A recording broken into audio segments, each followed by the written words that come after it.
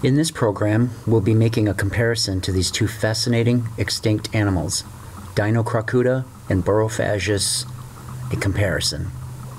Starting with the smaller skull, which belongs to Borophagus, its family, the Borophaginae, are called bone-crushing dogs that were endemic to North America during the Oligocene to Pliocene and existed roughly 36 to 2.5 million years ago, existing for about 33.5 million years. The Borophaginae family descended from the subfamily Hesperocyninae, which started with Hesperocyon. The Borophagines soon diversified into several major groups.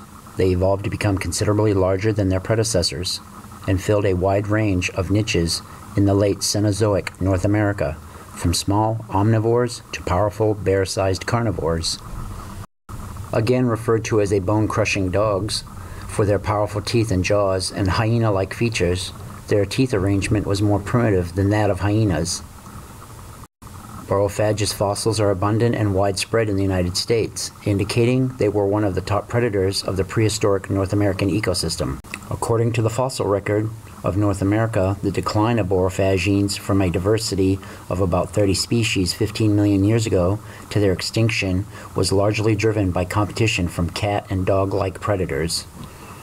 As for the cat predators, they invaded the North American continent from Eurasia about 20 million years ago and were better ambush predators. Climate change, which led to the replacement of North American forests with grasslands, may also have been a factor. Borophagines were less suited to running down prey than predatory species of dogs that they had to compete with. There was only one type of hyena in North America called Chasmaporthetes, an extinct hyena with a distribution in Eurasia and Africa as well as North America during the Pliocene Pleistocene epochs, living from 4.9 million to 780,000 years ago.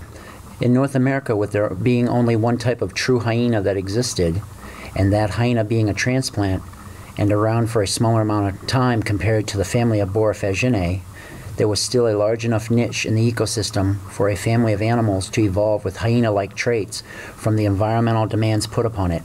From form follows function, all that falling from a base of environmental demands.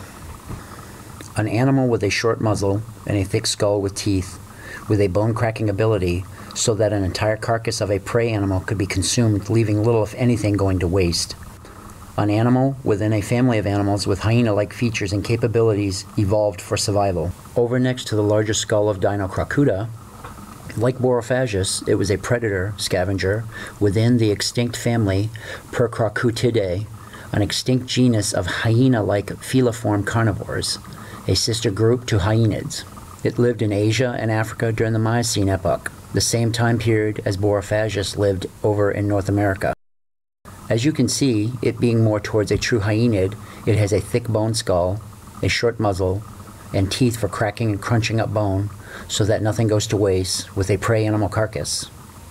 Just like the similarity of Borophagus to Dinocrocuta, the similarity between Dinocrocuta to modern hyenas is yet another example of an animal adapting to similar survival conditions to occupy an ecological niche.